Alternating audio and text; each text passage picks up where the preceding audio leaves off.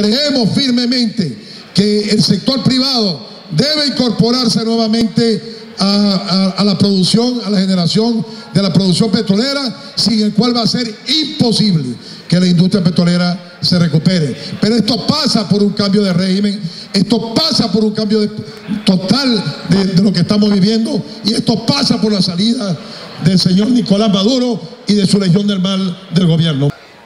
Basta solamente hacer un pequeño paneo por países de la región para que nos demos cuenta de lo que está ocurriendo.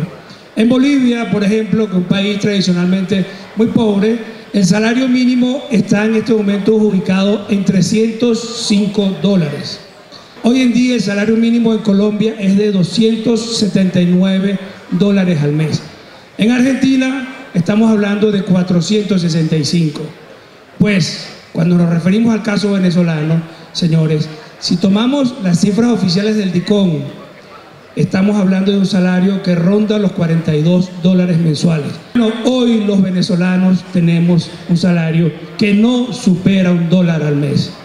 Y esto es producto de un modelo, de un sistema económico y de un sistema político que acumula poder, eso sí, el poder a costa de todo, que se roba los dineros del pueblo, que es contra natura a lo, a lo que es la naturaleza humana, de la libertad, del emprendimiento, de la tecnología, de la innovación, de la defensa de género, de la defensa del medio ambiente, en fin.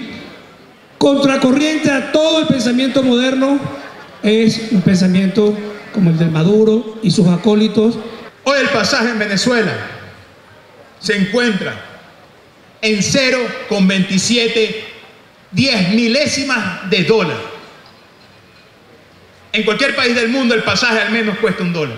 Pero ¿cómo va a ser eso posible si apenas el salario mínimo en Venezuela está en un dólar? En los Estados Unidos, Europa, está entre un dólar 30 y un dólar 60 para un buen sistema de transporte.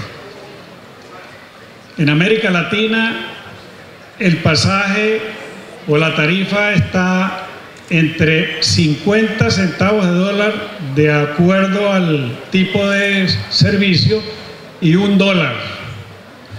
En Venezuela, pues ya el diputado Bozo dijo cuánto vale, menos de un centavo de dólar.